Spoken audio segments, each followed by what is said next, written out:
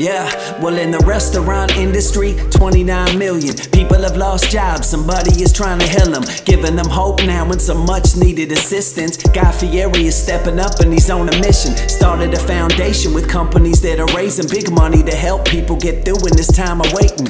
Giving out grants already to 40,000 out of work restaurant workers and more counting. So far, the food star has raised 20 million, but he's not stopping there. He's hoping people are willing to go back and eat at the place places we once ate at. Cause if we wanna heal this country, we need a way back. And what Fieri's doing is helping people survive and keeping the hope of eating at restaurants still alive. And if there's something more about this that you wanna know, the RERF website is where you go.